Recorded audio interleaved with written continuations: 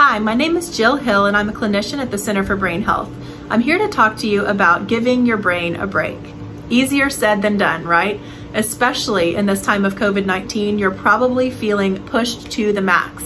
You might be falling back on that just push through mentality and feeling mentally and physically exhausted by the end of the day. So now it's more important than ever for you to give your brain a break so that you can downregulate stress and be the best you can be when you need to be. So how do you give your brain a break?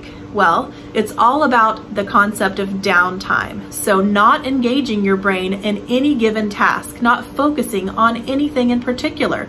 So that means not pulling out your phone, no technology, just stepping back and taking a true brain break.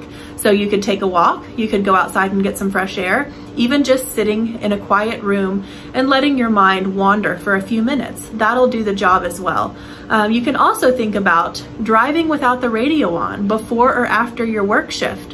So think about for the last five minutes of your commute, just turning everything off in the car and letting your brain shift from that work mode to that home mode. That'll really give you a little bit of recharge that you need for the rest of your day. So try to take five of these brain breaks for five minutes at a time. We call it the five by five. Throughout your day, try to take five five minute breaks. So really challenging yourself to do this is going to be something you can proactively do to downregulate your stress, increase your mental energy, and be the best you can be. Thanks.